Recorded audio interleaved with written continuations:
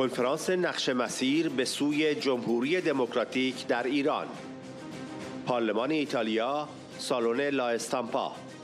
چهارشنبه 23 فروردین 1402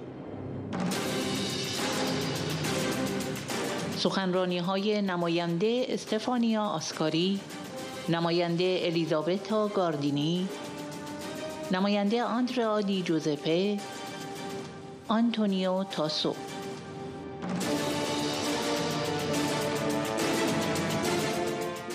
الیزابتا گاردینی عضو کمیسیون قانون اساسی مجلس نمایندگان ایتالیا.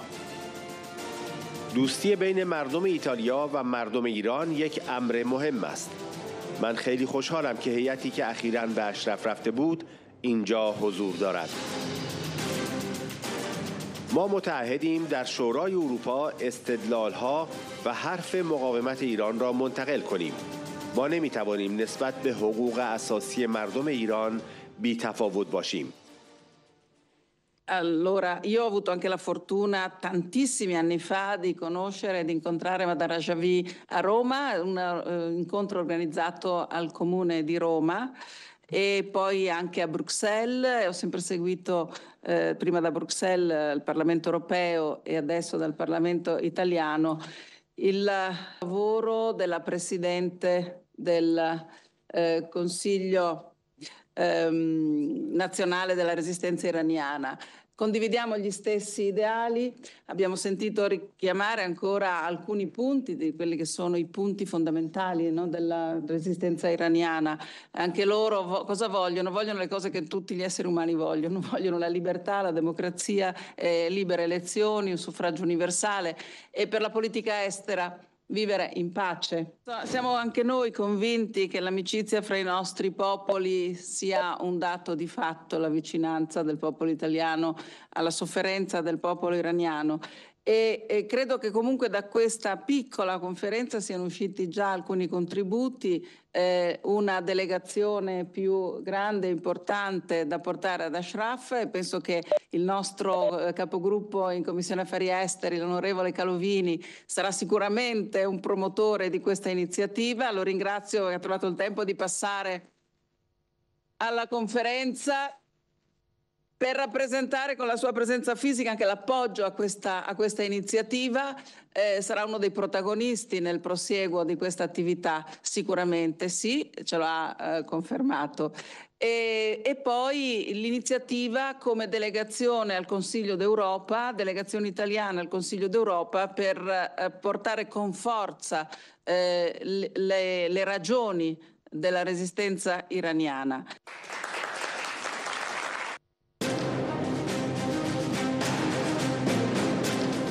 خانم استفانیا آسکاری مجاهدین بیش از چهل سال است برای رسیدن به یک دولت دموکراتیک مقاومت کردند.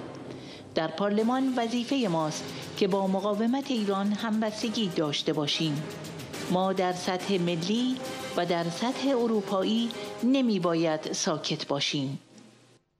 Grazie, grazie mille, ringrazio tutti i relatori, eh, ringrazio la leader Rajavi per l'accoglienza eh, ad Ashraf. Eh, innanzitutto è stata un'esperienza importantissima eh, che ogni legislatore, ogni collega deputato o deputata dovrebbe fare e soprattutto abbiamo toccato con mano esperienze di vita vera di chi ha vissuto torture sulla propria pelle, chi ha subito eh, veramente atti disumani, ma soprattutto la perdita della famiglia, di figli, di genitori ed è stato costretto a lasciare eh, il proprio paese. E, e questa è stata veramente un'esperienza veramente forte, eh, si è toccato con mano 40 anni di resistenza all'interno di una dittatura, l'impossibilità di poter leggere liberamente un libro, la possibilità di poter uscire liberamente, eh, atti di violenza continui.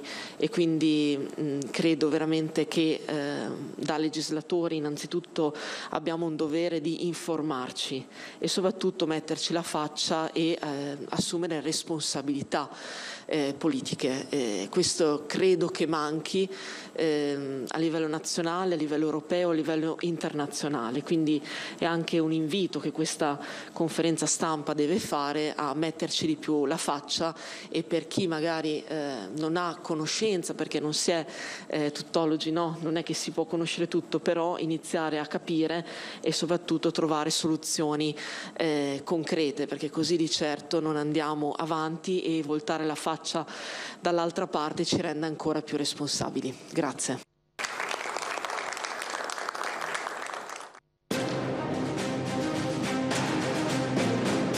نماینده آندریا دی جوزپه من بر همبستگی خودم با مقاومت ایران تاکید می کنم بسیار اساسی است که جامعه بین المللی فشار بر رژیم ایران را افزایش دهد باید اقدامات مشخص را علیه این رژیم انجام داد تا بداند عملکردش عواقب دارد. Il, il, il governo iraniano è un governo canaglia e quindi come tale va trattato, eh, senza se, senza ma.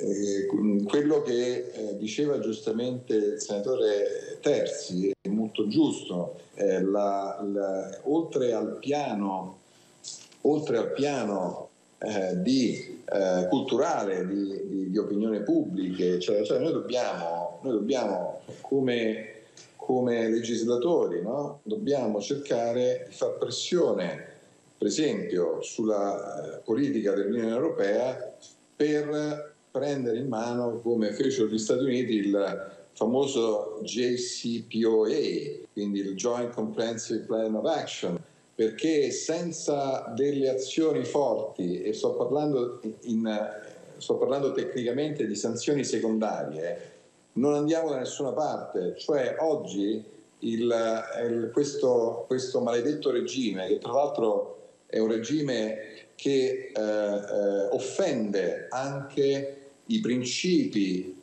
del Corano perché li offende e quindi sono tecnicamente, sono tecnicamente, lo dico con ragione d'essere, degli infedeli, eh, allora eh, quello, che, quello che va fatto come pressione sull'Unione Europea è assolutamente incrementare quelle che sono le sanzioni secondarie, perché noi non possiamo avere oggi degli Stati Uniti che adottano una politica molto più forte rispetto a quello che sono stati, che è oggi l'Europa e alcuni paesi in particolare dell'Europa come Germania e Francia rispetto ad altre, ad altre, ad altre, ad altre nazioni.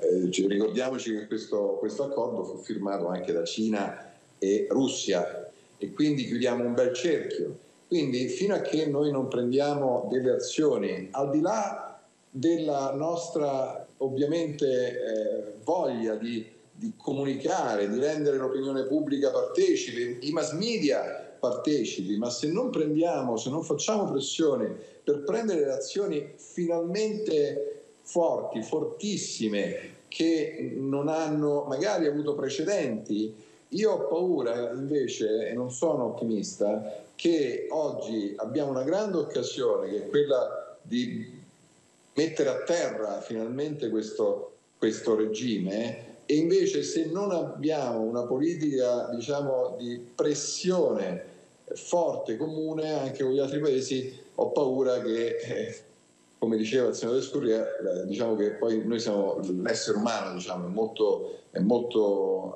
adattabile quindi si dimentica anche molto, molto in fretta. Infatti notavo che fino a un mese fa sui giornali e sui mass media il tema dell'Iran era, era, un tema portato sulle prime pagine dei giornali, oggi purtroppo eh, c'è il tema della, della, carne artificiale che mi sembra un pochino un po' eh, meno, meno importante rispetto alla, alle, alla, al, ai massacri che stanno facendo in Iran, perché questi sono massacri su cui noi abbiamo la, la, il dovere umano prima che politico di intervenire Scusate la, la, lunghezza, ma questo è quello che, quello che mi...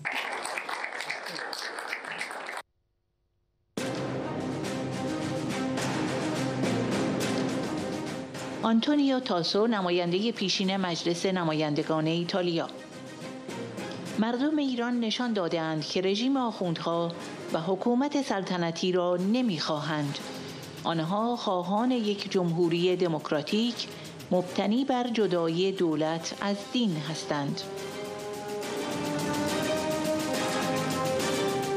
اخیرا اکثریت نمایندگان کنگره آمریکا در قطعنامه شماره 100 از برنامه ده ماده‌ای خانم مریم رجوی برای آینده ایران آزاد و دموکراتیک حمایت کردند و بیش از 300 نماینده انگلستان تا کنون از برنامه پرزیدنت رجوی حمایت کردند. In questi anni i governi occidentali, europeo e americano, seguendo la politica di appeasement, non hanno agito correttamente nei confronti della resistenza iraniana, ma questi hanno dimostrato di poter sopportare tutte queste difficoltà e di continuare a combattere per ottenere libertà e giustizia nel loro paese.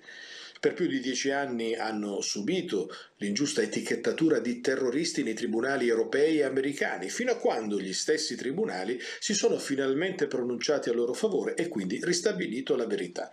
La resistenza iraniana e i mujahideen del popolo si sono opposti alle continue trame criminali del regime teocratico nei loro confronti e non si sono mai arresi. La storia di queste donne e questi uomini ha dimostrato che sono combattenti di libertà, persone coraggiose che hanno continuato a lottare contro il regime religioso e contro contro la politica di appeasement nonostante gli incessanti complotti del regime e le ingiuste pressioni e talvolta oserei dire con una sorta di ingenua complicità dei governi europei. La resistenza iraniana ha contrastato tutte le cospirazioni del regime, ha sopportato le più incredibili repressioni, torture esecuzioni e la gigantesca opera di demonizzazione oltre a dover svelare le farsi opposizioni e alternative costruite ad arte volte a oscurare oscurare ed eliminare l'alternativa democratica, cioè il Consiglio nazionale della resistenza iraniana CNRI, di cui i Mojahedin del popolo sono il gruppo principale.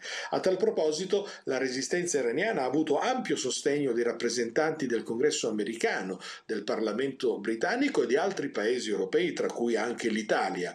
Recentemente la maggioranza dei rappresentanti del congresso americano, oltre 225 deputati di entrambi i partiti, democratico e repubblicano, attraverso la risoluzione numero 100, condannando la feroce repressione delle rivolte, le esecuzioni e torture da parte del regime dittatoriale, ha sostenuto la piattaforma in 10 punti della signora Mariam Rajavi per il futuro dell'Iran libero e democratico. E su questo anche oltre 300 parlamentari parlamentari britannici finora hanno sostenuto il programma della presidente Rajavi. Il popolo iraniano e i manifestanti hanno dimostrato che non vogliono il regime dei mullah e neanche quello monarchico dello Shah. Essi vogliono una repubblica democratica e laica basata sulla separazione tra lo Stato e la religione.